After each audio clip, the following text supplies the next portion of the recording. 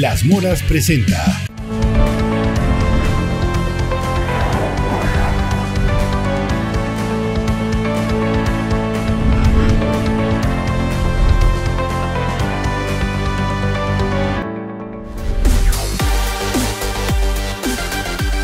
Las de hoy con Beto Morales. Hola, ¿qué tal? Estas son las de hoy, martes 13. Tal como se esperaba, la vacunación a personas de 30 a 39 años de edad que culminaba el día de hoy tendrá un proceso de ampliación.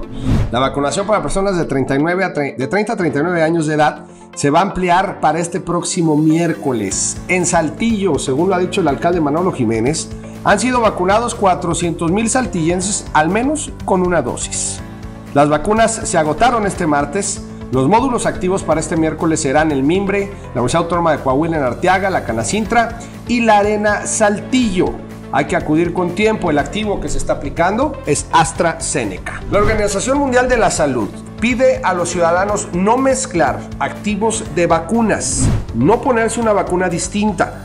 La organización aclaró este martes que las personas que se vacunan contra el COVID no deben decidir unilateralmente el mezclar dosis de distintos fabricantes, sino que deben seguir los consejos de las agencias de salud pública y de sus médicos particulares. Hoy por hoy el estado de Coahuila es el tercer lugar a nivel nacional en recuperación de empleo. En junio se lograron generar 7.543 empleos. Este número seguirá creciendo para el mes de julio y agosto, pues tan solo en lo que va del 2021 se han concretado 22 proyectos de inversión en Coahuila, con un monto de 3.877 millones de dólares. La recuperación económica no ha sido sencilla.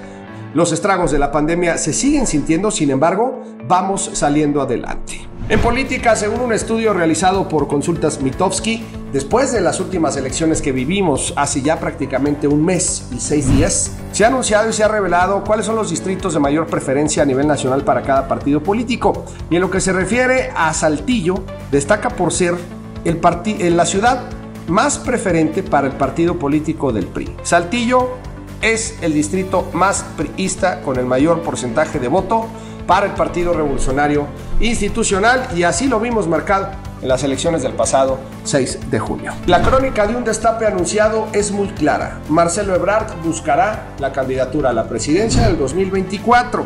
Esto rumbo a darle continuidad a la cuarta transformación o tener un gobierno diferente. De ganar, claro está. Su rival en su partido ya tiene nombre, es Martín Batres, recién nombrado secretario de gobierno de la Ciudad de México, o tal vez este se conformará con ser el que continúe con el trabajo de Claudia Sheinbaum como jefe de gobierno en la Ciudad de México. HBO ha penetrado de una manera impresionante, logra desbancar a Netflix y logra ponerse al nivel de Disney Plus. Tanto así que los tres están en la batalla en los Emmys de este 2021. En el mundo deportivo, este martes arrancó en la capital de Coahuila, Saltillo, lo que es el Nacional de Béisbol de la CONADE 2021, en las categorías Junior y Pre-Junior. El Parque Francisco y Madero, el Curvelo, el Juan Navarrete, la Parcela en Arteaga y el Ramos Arispe en Ramos Arispe serán los escenarios de este torneo nacional donde participan representativos de 13 estados del país, por supuesto, incluyendo Coahuila. Estas son las de hoy, ya estás informado. Hasta la próxima. Las de hoy con Beto Morales.